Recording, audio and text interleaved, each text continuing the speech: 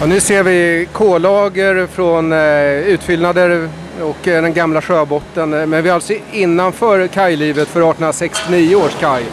Och det är blandat eh, med material, glasflaskor och sådär. Men, men vi står på den gamla sjöbotten i princip, ungefär eh, fem och en halv meter under eh, nollplanet. Och det kommer också ett gödsellager och lite andra pålar som kanske är en eh, äldre kaj, ytterligare en äldre kaj. Så att vi betar oss längre och längre tillbaka ner i tiden. Men eh, än så länge är vi i 1800-talet. Nu har jag krypit ner i vår lilla provgrop vi har här på området som vi har tagit upp för att se om det händer något mer än det vi redan har framme. Och det vi har här nu det är det här eh, kollagret som vi har sett tidigare.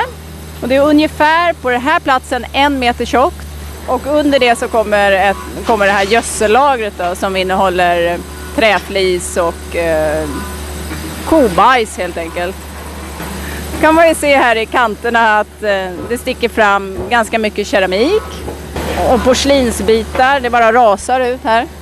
Och även en del eh, läder har vi hittat och glas. Och den här lilla provgropen kommer vi försöka att följa så att vi kan gräva den djupare efterhand då, för att se vad som vi har att vänta. Ja, det går snabbt fram och det ska det göra också. Det måste ske fort men kontrollerat. Det, är ingen idé att lägga för mycket krut på sånt som eh, vi ser är påfört och så. Utan vi vill ju fokusera på när vi har säkra kontexter och eh, också de miljöerna som vi har då uppdrag att undersöka. Och vi, vi är där nu och eh, vi kommer förmodligen tänka om och gå fram på ett annat sätt när, när vi har det, det läget helt klart för oss.